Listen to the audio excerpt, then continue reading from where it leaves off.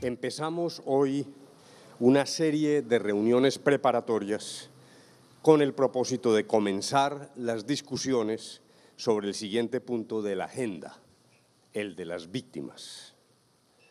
Como lo hemos dicho en el pasado, las víctimas están en el centro del proceso. No hemos venido a negociar sus derechos, sino a acordar cómo el gobierno y las FARC les responden de la mejor manera. ¿Cómo satisfacemos sus derechos a la verdad, la justicia y la reparación y aseguramos que el dolor y la tragedia que vivieron no se vuelva a repetir? Son los intereses supremos del Gobierno en este capítulo de los diálogos. Quiero citar un fragmento de una carta que nos hizo llegar Lorenzo Mosquera, víctima de la guerra en el Cauca. Dice así textualmente, el daño que se le hace a una víctima se infringe a toda la humanidad. Por esto las víctimas le apostamos a la paz, porque le apostamos también a la reconciliación de la sociedad. Una paz que permita unas madres sin dolor, sin hijos muertos. Y allí termino la cita de Lorenzo. Y esta reflexión suya es precisamente la que nos impulsa a continuar y lograr acuerdos que permitan satisfacer los derechos de las víctimas y dar un paso más en la búsqueda de la paz que tanto anhelamos los colombianos. Son tiempos agitados en nuestro país.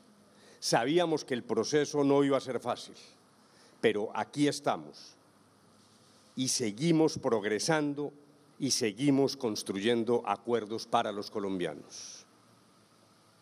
Ya hemos logrado tres de los cinco puntos sustantivos que se establecieron en la agenda. Ya tenemos acuerdos en el tema de desarrollo agrario integral que permitirán en el futuro mejorar sustancialmente la calidad de vida y el trabajo de millones de campesinos.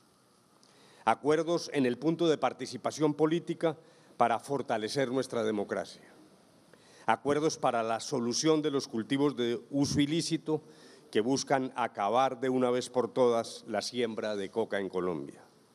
Sin duda, todas estas cosas representan avances para todo, para todo el país.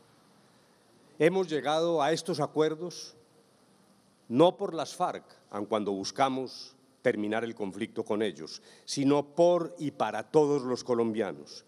Estamos convencidos de que estos puntos representan las transformaciones necesarias para que el conflicto jamás se repita.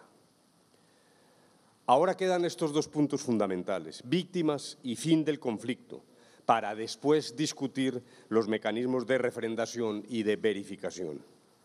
En este punto, le quiero recordar y hablar con toda claridad a los colombianos. Sin ustedes no habrá implementación de los acuerdos. Ustedes, al final del proceso, tendrán la última palabra. Validar o no lo que hemos acordado. En las manos de ustedes y solo de ustedes, allá en la intimidad de cada quien, estará abrir la puerta a la fase de transición en la que serán llevados a la realidad los acuerdos. Ustedes serán los dueños del proceso. A ustedes les pido que no se dejen confundir en medio de tanta mentira, de tanta falacia. Les aconsejo a los colombianos que no se dejen echar cuentos. Igualmente quiero reiterar una vez más que no es el proceso, que no hace parte del proceso. El proceso no busca destruir la libertad de empresa ni la propiedad privada. No hemos feriado las zonas de reserva campesina y mucho menos hemos pactado su desmilitarización. Todo lo acordado está enmarcado en el espíritu de la Constitución y del Estado de Derecho.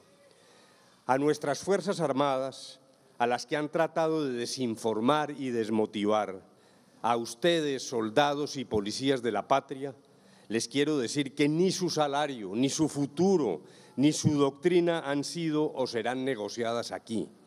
No se dejen confundir, no se dejen confundir por quienes no tienen otro interés que atacar este proceso con una imperdonable campaña de desinformación. En varias oportunidades hemos dicho que lo importante es lo que se discute en el marco de la mesa y los acuerdos a los que se llegue. Afuera, las FARC se han dedicado a divulgar sus opiniones con declaraciones aquí en La Habana o a través de videos y escritos que también terminan por confundir a la opinión pública.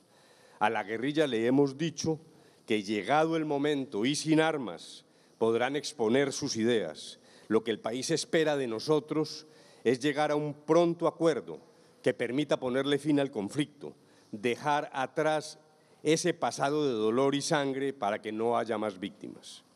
Para eso estamos aquí y seguiremos trabajando arduamente para terminar el conflicto y asegurar un mejor futuro para los colombianos. La paz es posible.